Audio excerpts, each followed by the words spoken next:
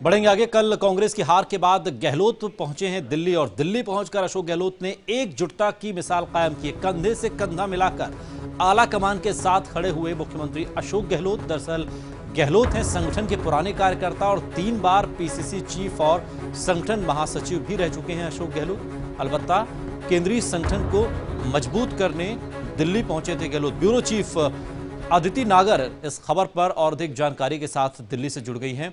अदिति चूँकि अशोक गहलोत का संगठन के स्तर पर भी एक लंबा अनुभव रहा है और चूँकि इस वक्त कांग्रेस लोकसभा चुनाव में जिस तरीके से हार मिली है, इस वक्त बहुत ज़रूरत है एक दूसरे को कंधे से कंधा मिलकर चलने की और हौसला भी देने की। अशोक गहलोत की जो तस्वीरें सामने आई हैं उसमें एक बड़ी लकीर खींचते हुए नज़र आए हैं।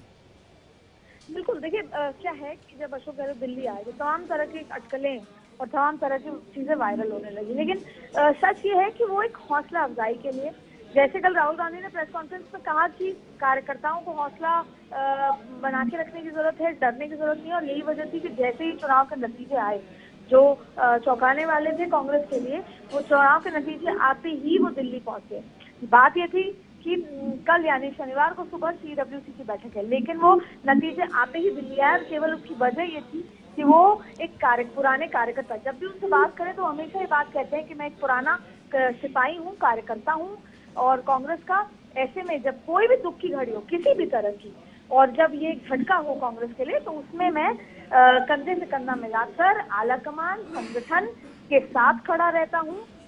और ज़ाहिर तौर पे हार हुई है तो चिंतन मनन मंथन तमाम चीज़ें होंगी इसलिए बैठकें भी हो रही है मेल मिलाप भी हो रहा है और आगे जो लड़ाई है जिसे कह सकते हैं विचारधारा की वो जारी रहेगी हम्म। लेकिन उनके दिल्ली आने का मकसद यहाँ पर संगठन के साथ खड़े रहने का था एक सपोर्ट का था सहयोग का था और यही वजह है कि वो एकजुटता जो दिखती है यहाँ पर हम्म। उसकी कहीं ना कहीं मिसाल कार्यकर्ताओं सामने आई है। कार्यकर्ता यहाँ उस बात से उत्साहित थे क्योंकि दिल्ली में जिस तरीके से माहौल जब बदल जाता है जब चुनाव के नतीजे इस हम्म। तरह से आते हार जाती है तो जब ये दिग्गज कार्यकर्ता जो पुराने कार्यकर्ता रहे हैं जिनके पास एक्सपीरियंस है जो आज भी मुख्यमंत्री बिल्कुल और ये बात मुख्यमंत्री अशोक गहलोत आज साबित करते हुए भी अदिति नज़र आए इस बैठक में। शुक्रिया इस तमाम जानकारी के